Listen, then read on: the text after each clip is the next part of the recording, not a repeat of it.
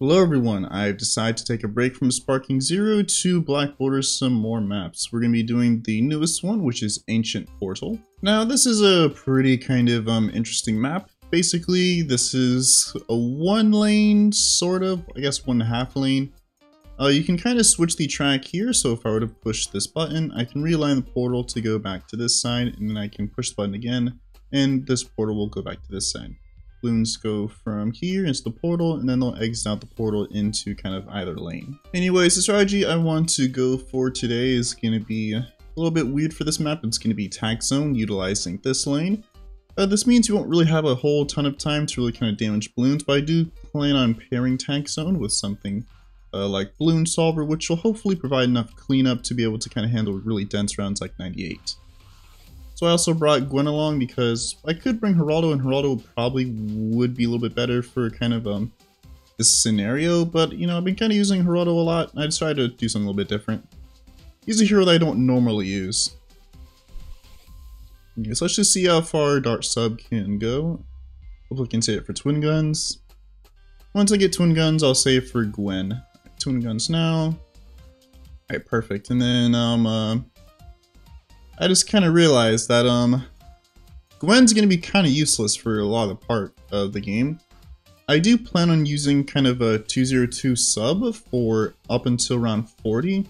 And then once around 40 hits, I'll kind of move everything, um, move the lane over here.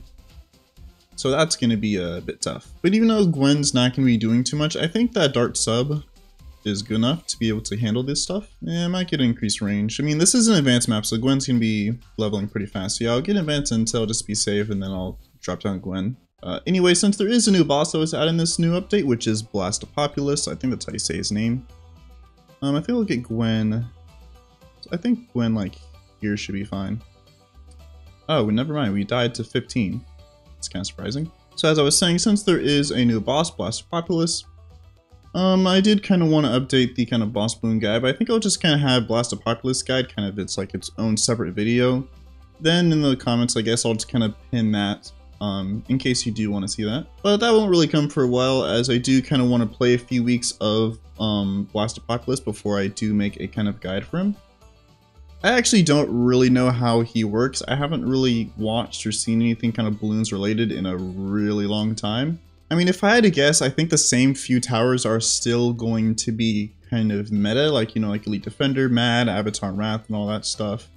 Um, because, you know, Blastapopoulos still has a ton of HP, and there's very few towers that can actually burst down that amount of damage, so... Um, I kind of do expect that it's going to be similar towers that are going to be meta. Not really kind of a huge deviation from the norm. Um, but who knows, um, Ninja Kiwi could surprise me. Like I said, I haven't seen anything kind of related to any of the new bosses. So once the kind of Blastapopoulos weeks drops, I'll be sure to check it out. I think I'm actually going to get Airburst because um, round 15, of course, can be annoying. Actually, we don't even afford um, Airburst before round 15. So let me just kind of see here. I think it's kind of the pink balloons that are screwing us over. Let me get this guy in strong.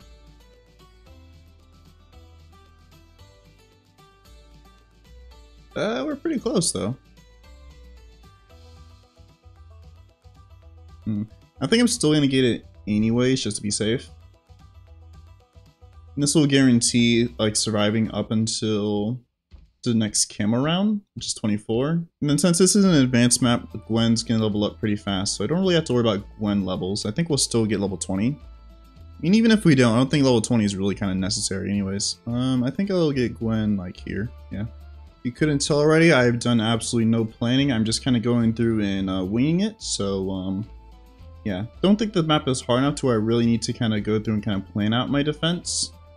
Alright, so now that we got a pretty strong uh, foothold, I'll get attack zone, like, I think Hereish is good, or maybe kind of down. Yeah, I think down like here is fine.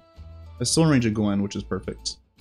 I want to see if I can save it for uh, overdrive before the MOAB comes in, because if that is the case, then I can probably flip the lane over to this side, which I think I will be able to, so that'd be perfect. Alright, hopefully sub can kind of handle this, because the this pink wave is pretty dense.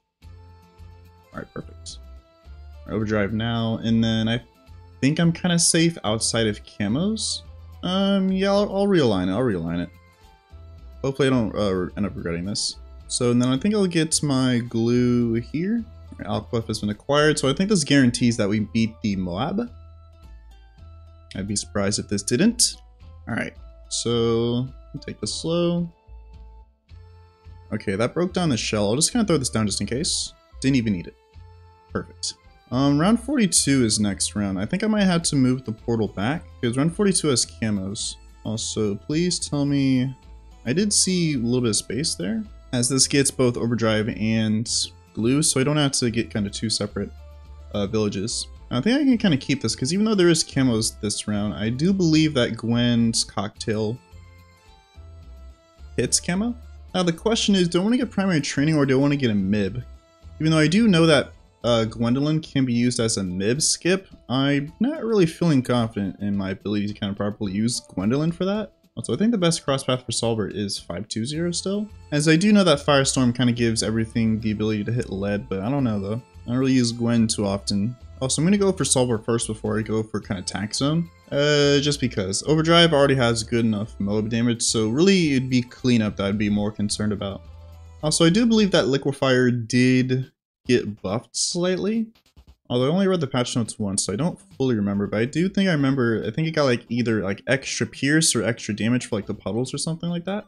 Also, I did notice that when I was um, grinding the other medals that these statues do start glowing, but I don't actually know what they do. Like when I click on them, they make like kind of a little explosion thing, but let me see what happens if I do it like now.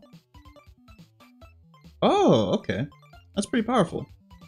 Um, I don't know how much damage that do, but that might be useful for like 98 or something like that.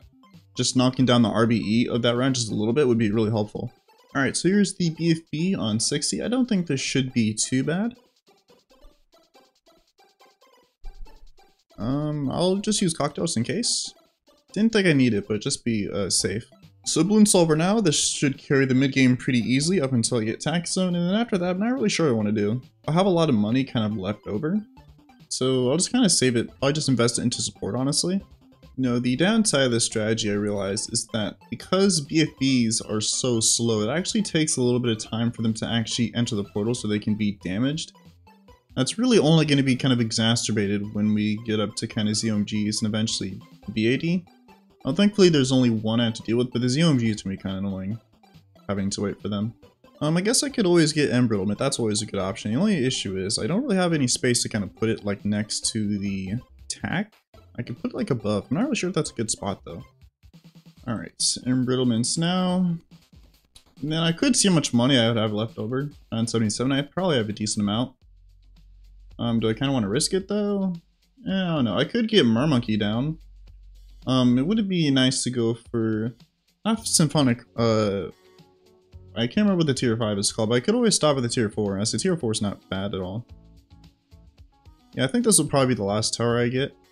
Although I don't know if it'd be worth it going for here though, because I would probably just end up pierce capping Tack Zone. Tack Zone doesn't really have a whole lot of pierce, so that's gonna be a bit of an issue. And I think I will just end up getting Mib just to be a little bit more consistent It allows me to be lazy. And I could also save for Call to Arms. That's not a bad option either. Also, I just realized this is more expensive than I remember it being. Um, I think this did get a little bit of a price hike in the most recent update. Which, to be honest, doesn't really surprise me as kind of Alk has always been kind of a staple in kind of Bloons, so it doesn't surprise me that they eventually nerf it a little bit. Now, as I was saying before, ZOMGs are going to take a really long time to actually enter the range of my defense.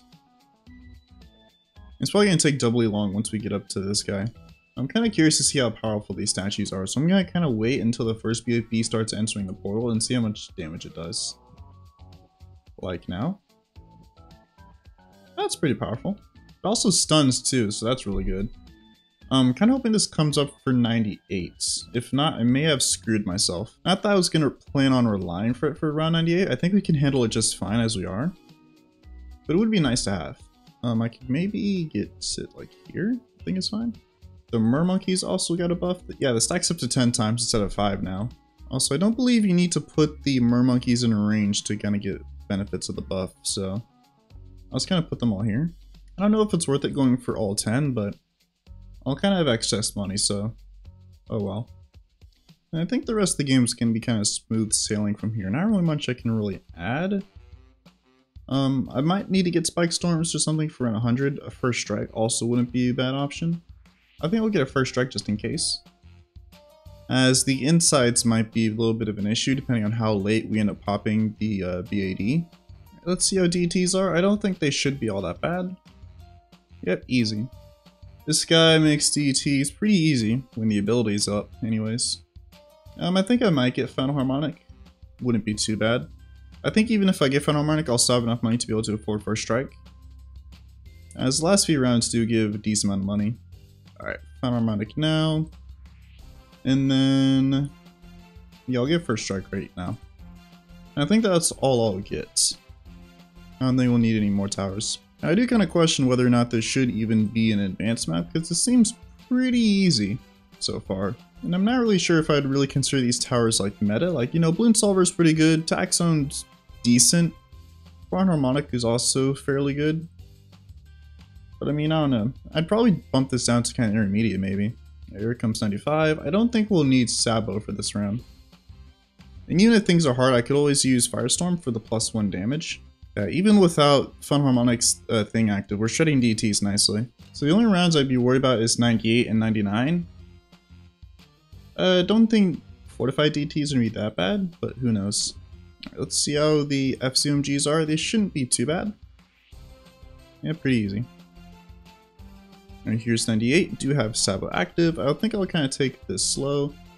Um, these aren't active for 98. I think that should be fine.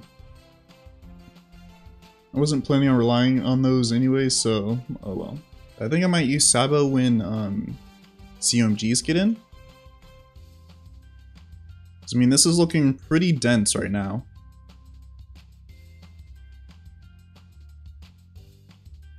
Um, but we seem to be kind of doing fine at the moment. Let me speed up a little bit. Yeah, and I think, yeah, Sabo is needed. I'll definitely use it for 99. Just do it right now, just be safe.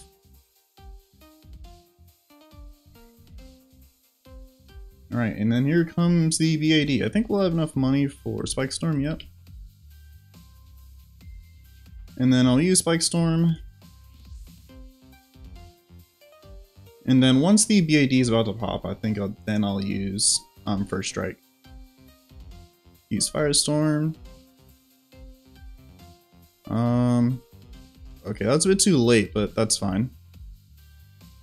And yeah, pretty, pretty easy map. I don't really think I'd really consider this advanced. I'd probably bump this down to intermediate. Um, because I mean, I guess having options of what lane you want to choose really does kind of make this a bit easier, as you can kind of choose, pick and choose with strategy, you know? Uh, you have really, really good bends here, so Tack Zone or Glaive Lord wouldn't be too bad of options to really kind of go for here. Or if you want to go for kind of a water-based defense, like, you know, uh, uh, this upgrade down here, um, I can't remember the name, or Pirate Lord, you know, you can do that as well, or even like Carrier Flagship as well. And I also think that Apache Prime might be okay here. Um, it's just might be a little bit weird with kind of the of it. But yeah, I don't really think this is advanced. I'd probably bump this down to inter intermediate. But um, yeah, that was that. If you enjoyed, you know, be sure to like, comment, and subscribe, and join Discord. Link is down below in the description. Uh, have a nice day, everyone. Especially my fellow Floridians. I know there was a hurricane that came out recently.